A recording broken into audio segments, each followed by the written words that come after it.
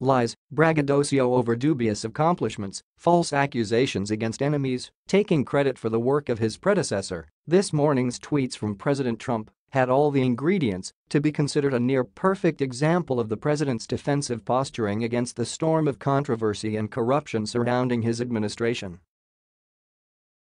Trump apparently felt that the best way to respond to the events of the week, a week where his overruling of intelligence agencies' recommendations to deny security clearances to his daughter and son-in-law was revealed, New York state regulators subpoenaed the Trump Organization's insurance broker, North Korea restarted its nuclear missile program, and a myriad of other damning events took place, was to attack and distract.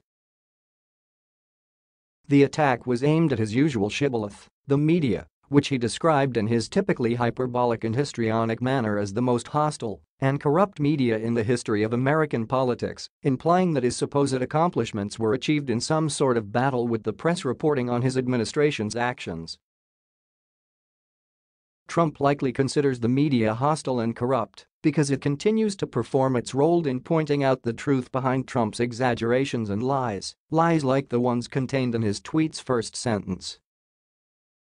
For the record, there is no indication in reality that the current state of American political media is any more unfriendly to Trump than it has been to other presidents, and, in fact, he has an entire cable news network dedicated to praising his every word, something that no other president has ever benefited from. Trump's claim that the Trump administration has accomplished more in its first two years than any other administration is such a blatantly false boast that it garnered a wave of laughter at the UN when he tried to peddle that load of horse manure in a speech before the General Assembly.